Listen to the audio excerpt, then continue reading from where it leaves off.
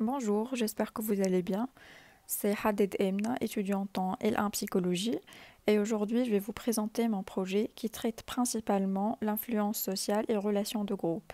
Je vais commencer avec une petite définition de l'influence sociale comme thème général. Il s'agit de l'un des mécanismes fondamentaux dont se préoccupe la psychologie sociale. Elle correspond à une pression du groupe de la société sur l'individu qui a pour conséquence de modifier peu à peu ses attitudes et ses comportements. Dans ce contexte, l'individu est sans cesse pris entre deux logiques différentes, ce qui se traduit par un conflit entre, premièrement, le désir d'être similaire à autrui, c'est-à-dire acceptable, ne pas être rejeté, et deuxièmement, euh, le désir de garder sa spécificité et son individualité. En effet, toutes les études qui tentent de saisir ce processus mettent en évidence une dimension essentielle de la relation avec autrui ainsi que de la relation entre l'individu et la société. Parmi les raisons qui m'ont amené à choisir le thème de l'influence sociale est le désir de comprendre comment les autres nous influencent significativement et comment nous pouvons influencer les autres aussi, la curiosité envers euh, les mécanismes de persuasion, de conformité et de désobéissance par exemple, et finalement le désir d'étudier la démarche et la méthodologie des expériences élaborées par des psychologues sociaux généralement en laboratoire. Le conformisme constitue l'une des manifestations de l'influence sociale.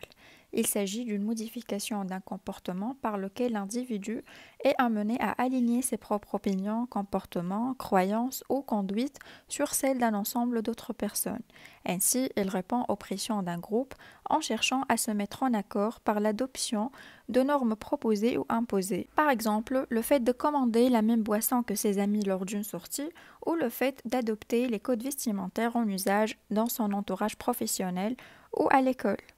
La tendance à se conformer au comportement du groupe a été étudiée par Solomon Ash, chercheur en psychologie à Swarthmore College aux États-Unis. Dans une expérience publiée en 1956, il démontre l'influence et le pouvoir du conformisme sur les décisions d'un individu au sein d'un groupe. Les sujets expérimentaux participent à l'expérience en groupe de 7 à 9 personnes, qui constituera la source d'influence. Au sein de chaque groupe, seul un sujet est naïf, les autres sont des compères, personnes qui participent à l'expérience après s'être entendues avec l'expérimentateur sur ce qu'ils doivent faire. Ils suivent les directives du psychologue données en amont et ils sont instruits à donner une réponse manifestement fausse lors de 7 essais sur 12, en parfaite unanimité et avant le sujet naïf. En effet, les étudiants assis les uns à côté des autres donnaient leur réponse à tour de rôle. Ils doivent dire quelle ligne parmi A, B et C est de la même longueur que la ligne test. Contrairement aux compères, les sujets cibles sont naïfs, ils sont situés à l'avant-dernière place pour qu'ils entendent les réponses du groupe. Les réponses du sujet naïf sont alors étudiées. L'objectif était d'analyser comment le sujet allait réagir en constatant que le groupe n'était pas du même avis. L'expérience a montré que 37% des sujets finissaient par se conformer aux mauvaises réponses, soutenues à l'unanimité par les complices. Dans le même contexte, des expériences rigolotes et tragicomiques comme une caméra cachée anglaise qui démontrent notre incapacité à imposer l'évidence face à la pression collective. Le principe de cette caméra cachée est simple. Parmi toutes les personnes présentes dans l'ascenseur, une seule est victime, les autres sont des complices. Ils font partie de l'expérimentation et ont pour rôle de tourner le dos à la porte de l'ascenseur en attendant l'arrivée du cobaye. Comme résultat, bien que le sujet naïf soit conscient de l'attitude incohérente des complices, il va tourner lui aussi le dos à la porte de l'ascenseur. Bien que ce soit juste pour rire, Candid Camera a également soulevé de sérieuses questions sur la conformité pour nous tous.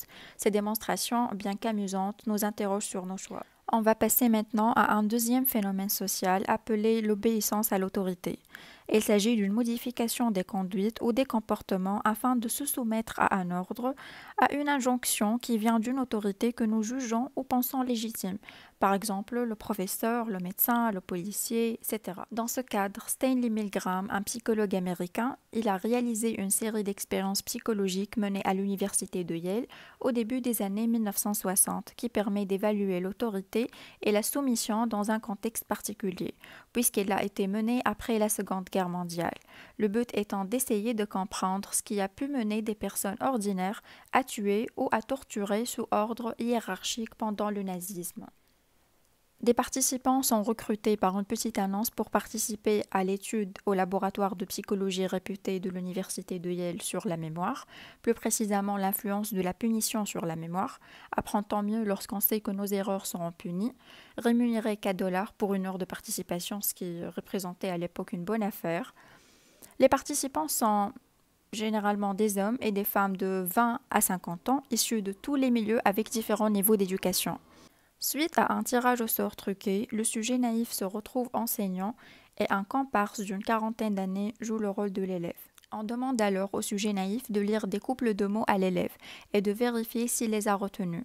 En cas d'erreur, lors du rappel, le sujet devait lui administrer une décharge électrique au moyen d'un générateur de choc allant jusqu'à 450 volts, où il est indiqué danger, par saut de 15 volts avec les indications suivantes choc léger, choc modéré, choc fort, choc très fort, choc extrêmement intense, attention choc dangereux et enfin 3X. Et s'il hésitait, le scientifique présent lui demandait imperturbablement de poursuivre l'expérience. Bien sûr, les chocs électriques ne sont pas réels, mais ce qui est important, c'est que le sujet naïf croit qu'il le sent. On le soumet à un léger choc électrique de 45 volts pour lui montrer quel type de souffrance l'élève peut recevoir et pour renforcer sa confiance sur la véracité de l'expérience. Au fur et à mesure qu'on avance dans l'expérience et que les chocs augmentent, la souffrance de l'élève est de plus en plus alarmante. À 75 volts, l'élève gémit. À 120 volts, il crie que les chocs sont douloureux. À 150 volts, il refuse de continuer. À 270 volts, il pousse un cri d'agonie. À partir de 300 volts, il râle une dernière fois et cesse de répondre. Par conséquent, le conflit ressenti par le professeur augmente et les hésitations à infliger les chocs sont de plus en plus fréquentes. À chaque fois que l'enseignant hésite, l'expérimentateur lui dit de continuer. Ce dernier intervient donc pour lui donner des ordres selon des relances préétablies. Première relance, veuillez continuer s'il vous plaît. Deuxième relance, l'expérience exige que vous continuez. Troisième relance, il est absolument indispensable que vous continuez. Et la quatrième relance, vous n'avez pas le choix, vous devez continuer. Si après quatre incitations successives, le professeur hésite encore, l'expérience est interrompue. Quant au résultat, la plupart des participants ont obéi à l'autorité. 65% des participants ont administré la tension maximale de 450 volts lorsqu'on leur a ordonné de le faire par une personne en position d'autorité. Une deuxième expérience appelée l'expérience de l'hôpital de Holfing montre comment l'obéissance en milieu hospitalier littéralement être mortel si les gens ne mettaient pas en question autorité. La procédure impliquait une expérience dans un hôpital psychiatrique sur le terrain impliquant 22 infirmières de nuit qui ont reçu des demandes téléphoniques d'un médecin, Dr. Smith le chercheur, il leur demande de vérifier l'armoire à pharmacie pour, voir si elles ont le médicament Astroten. Le médicament n'était pas vraiment réel, même si les infirmières pensaient que c'était le cas. Le médicament lui-même était une pilule de sucre inoffensive, c'était une capsule de glucose de couleur rose, inventée juste pour l'expérimentation. Quand elles vérifient, elles peuvent voir que la dose maximale est censée être de 10 mg seulement, contrairement à ce que le médecin a dit. En effet, il demande d'administrer 20 mg du médicament à un patient appelé Jones. Dans un autre hôpital, 21 étudiantes infirmières et 12 infirmières diplômées ont été invitées à remplir un questionnaire leur demandant ce qu'elles feraient si elles étaient confrontées à la situation expérimentale. Quant aux résultats, dans le groupe expérimental, 21 infirmières sur 22, c'est-à-dire 95% ont obéi aux ordres du médecin et étaient sur le point d'administrer le médicament aux patients. 11 infirmières qui sont allées administrer le médicament ont admis connaître la posologie d'estrotène. Les 10 autres n'ont pas remarqué mais ont jugé que c'était sûr car un médecin leur avait ordonné de le faire. Et lorsqu'on a demandé à d'autres infirmières de discuter de ce, qu'elles feraient dans une situation similaire, c'est-à-dire un groupe témoin, 31 sur 33 ont dit qu'elles ne se conformeraient pas à l'ordonnance. Une autre expérience qui étudie le phénomène de l'obéissance à l'autorité est celle de la prison de Stanford.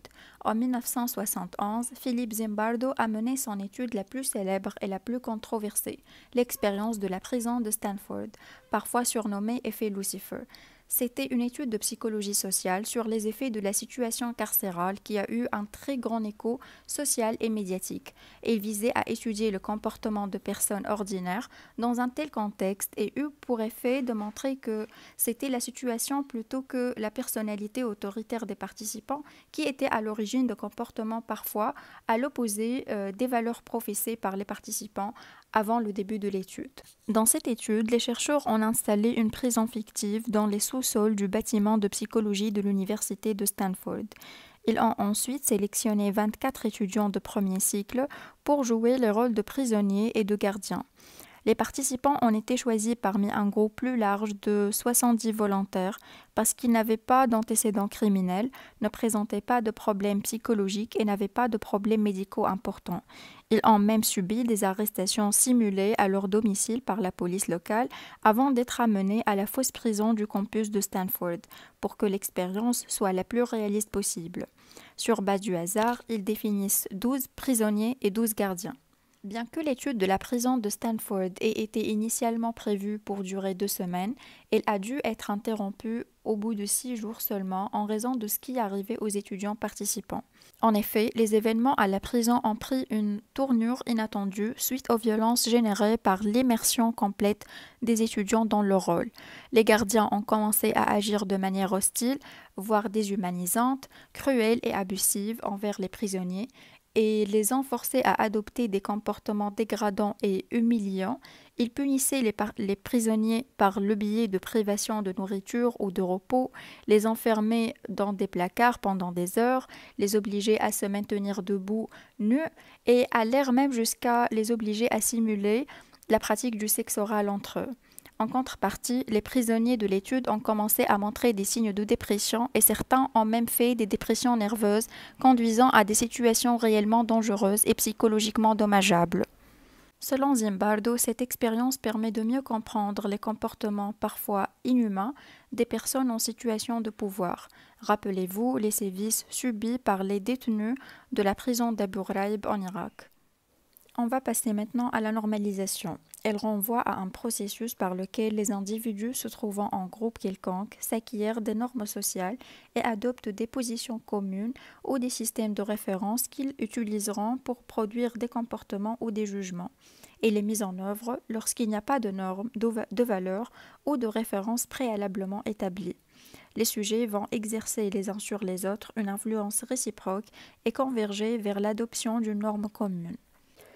En 1935, c'est Sheriff qui a initié l'étude expérimentale de la formation des normes au sein des groupes qui se déroulent à l'Université Columbia aux États-Unis. On passe à l'innovation, également appelée influence sociale minoritaire. Elle est définie comme l'influence qu'a un individu ou une minorité de personnes sur une majorité.